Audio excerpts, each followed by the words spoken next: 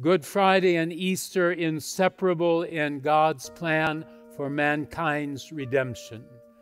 The Bible says he was buried, he died on the cross, according to the scriptures. He was buried, he was raised to life for our salvation.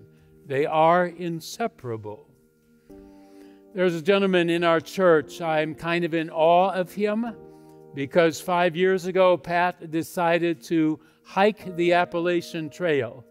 And we're talking 2,200 miles. I'll never forget when I talked with him, he said many people ask him, Did you go alone? And he said, Yeah, I went alone, but I was never alone. There were always other people there, trail angels that God would send across my path. And I always felt the presence of a higher power being with me. He was talking about God.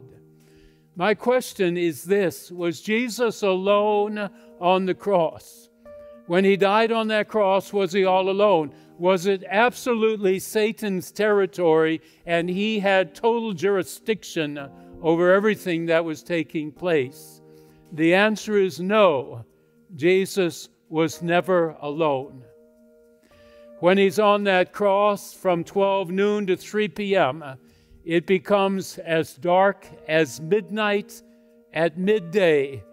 God brought the darkness. The temple of the, the curtain in the temple was torn in twain. It's because God was present. And when Jesus died and breathed his last, it was God saying, There is now no separation between me and mankind. I'm open to you because of what my son has just done. Was Jesus alone on the cross? Not hardly.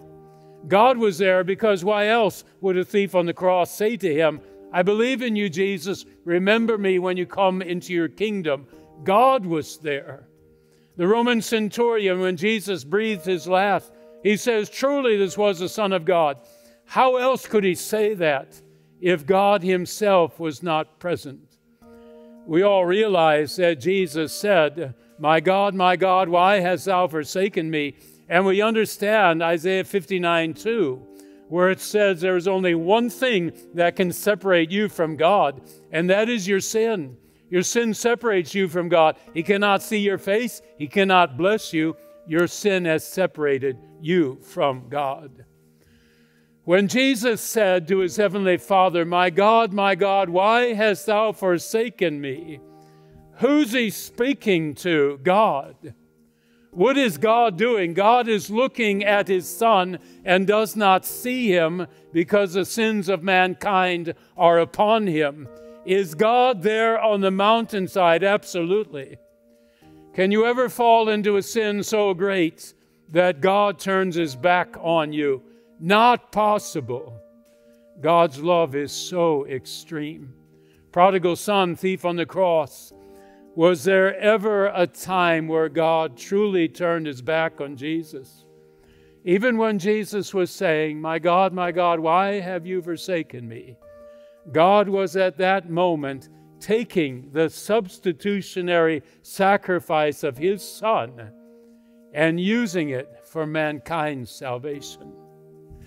God was present there.